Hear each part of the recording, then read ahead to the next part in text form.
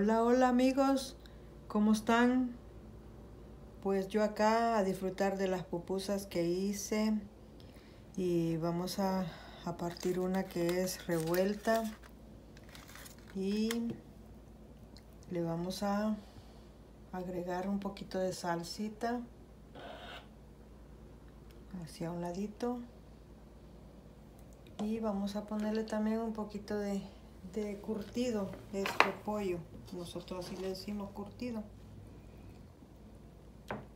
Poquito, como al gusto, ¿verdad?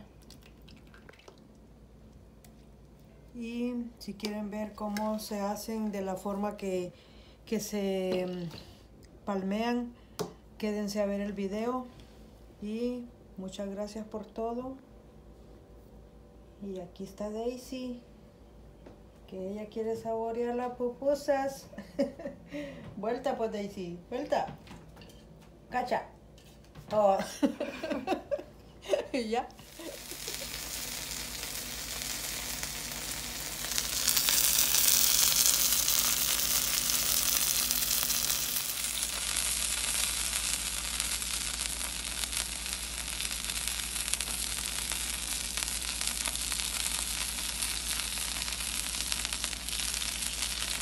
Pues ya tenemos todo listo ya para empezar a hacer las pupusas.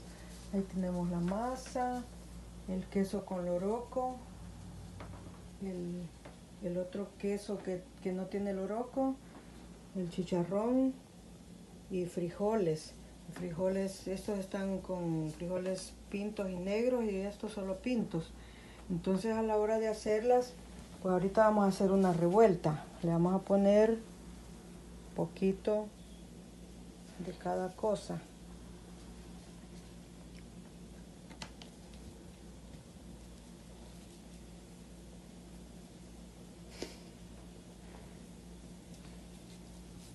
Se cierra. La cantidad de masa es como aproximadamente unas tres cucharadas y se unta la mano así con aceite y ya se palmea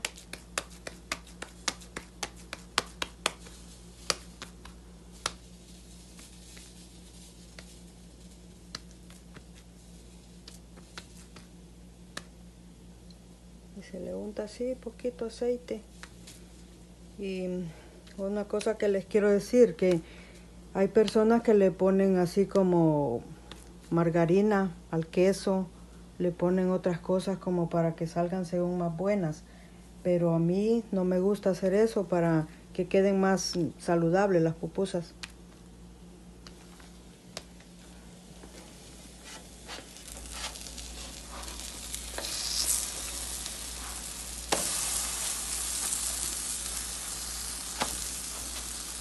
un espacio. Aquí va.